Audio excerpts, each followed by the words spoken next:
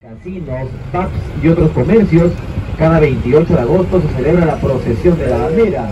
Ingresan en pies descalzos y hacen oración con dirección a la Meca, hacia Medio Oriente. En el segundo nivel existe el área de oración para mujeres y niños, además de las oficinas de sus autoridades religi- religiosas.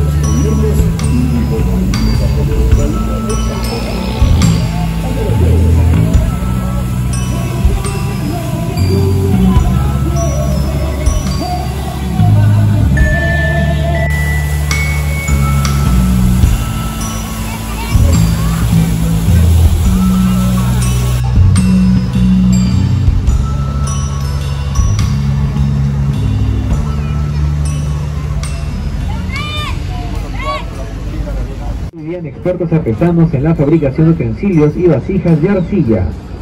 En la época del Tahuantinsuyo fue uno de los nueve más importantes ayllus del Valle Tacano o Tacneño. En la época colonial y en la era republicana, hasta hace poco antes de la Guerra del Pacífico, Pocoyay fue un pintoresco lugar de residencia de las más importantes familias. Se cuenta que desde aquí señoras y señores bajaban en sus lujosos coches o carros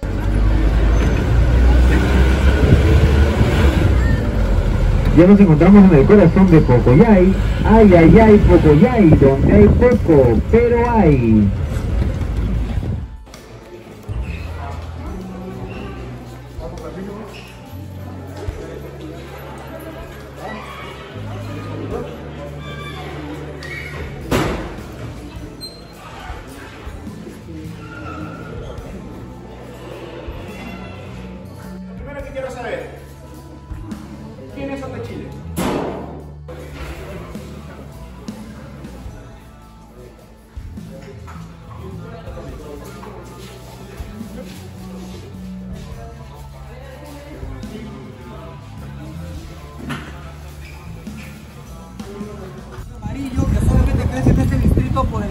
Que tiene. Acá siempre está soleado. A veces cuando está, está nublado, acá está soleado. No, si llueve, acá no. Es otro clima, por eso es que el choclo es un chiste de color amarillo. También lleva pasas, anís, maní y lleva leche de ternera soltera y virgen. No lleva huevo, tampoco lleva fruta, es muy distinto de la ciudad. Porción por ventana. Hoy día como es sábado también vende la porción que es pastel de choclo con pollo, la versión salada.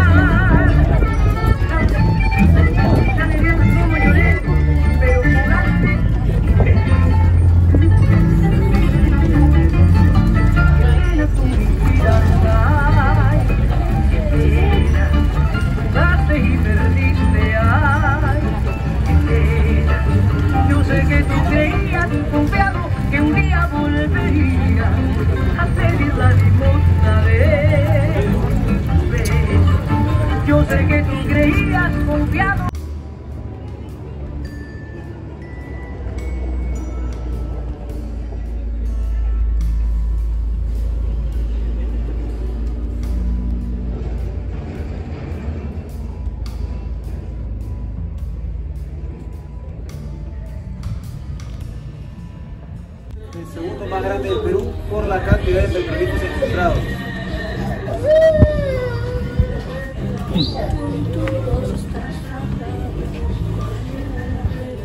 Se han encontrado más de 1500 petrolíferos en estas papas arqueológicas que comprenden 16 kilómetros cuadrados. Lo que han plasmado los petrolíferos son distintas actividades de distintas y diversas culturas, como animales que vivían en la zona, escenas de música, danza, cacería, sacrificios, etc. Aquí podemos observar a un animal parecido al avestruz, ¿no? idéntico, es el suri. Avistamiento del suri a partir de los 4.000 metros sobre el nivel del mar, sobre todo en el distrito de Palca. ¿Cómo llegamos al distrito de Palca? Seguimos esta carretera una hora y media y llegamos al distrito de Palca. Y aquí observamos a una persona que tiene los brazos largos, no parece tener los brazos largos. Es el señor de las aguas o el señor de las serpientes, que era una persona que tenía mucho poder y era líder en su cultura, ¿no? Ya que llevaba báculos sagrados, sagrados, ya báculos sagrados en forma de serpiente en sus brazos. Los petrolíferos datan de 500 años antes de Cristo a 500 años después de Cristo. 700, ese es un periodo. 700 años después de Cristo hasta 1000 años después de Cristo. Ese es otro periodo. Y de 700 años después de Cristo hasta 1000 años después de Cristo. Por actividad de los incas hasta 1532. La cultura predominante, la cultura Tiahuanaco. Pero también estaba la cultura Chiribaya, San Miguel, Pocoma, Gentilar y Citajara. Todas esas culturas están dentro del periodo formativo desarrollo regional tardío, hasta tiempos incas coloniales de la República.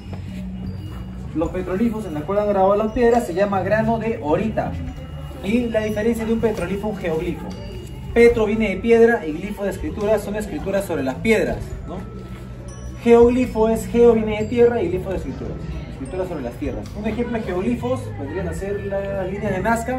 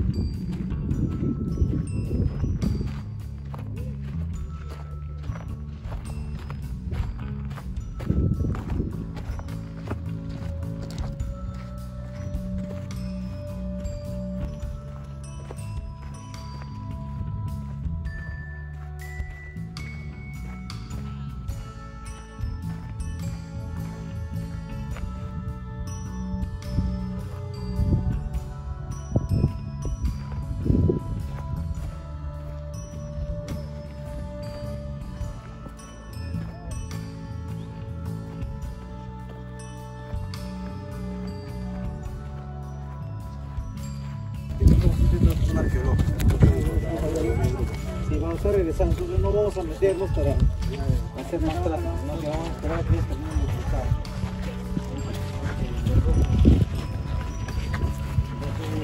En esta zona arqueológica existen alrededor de dos miradores, cuatro tambos, dos puentes colgantes. Los miradores están en la parte de los cerros, ¿no? son nocturnos, para un tipo de turismo místico, astronómico, para ver las constelaciones, ¿no? o en distintas fechas para ver los eclipses. Los tambos son lugares de descanso que se encuentran en las entradas de los puentes. El que está al fondo con el que está al cruzar son idénticos, son los tambos originales. Pero el de palos de madera es una réplica, pero igual sirve para descanso. Y a un kilómetro se encuentra el segundo puente colgante donde hay dos tambos más.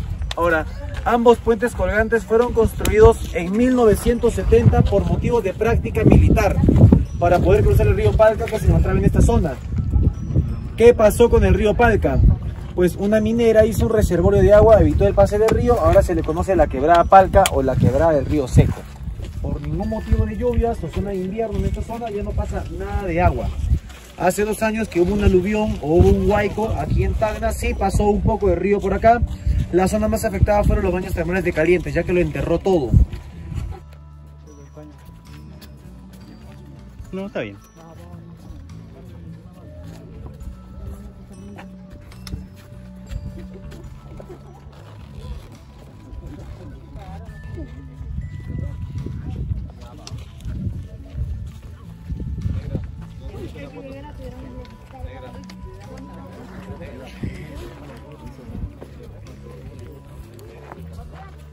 alguna foto? Te demoraste mucho, Víctor.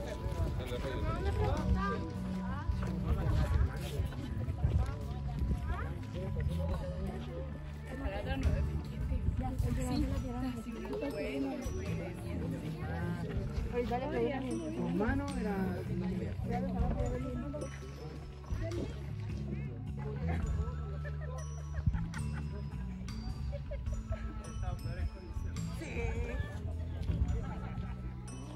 Más vale borracho famoso que alcohólico, ¿no?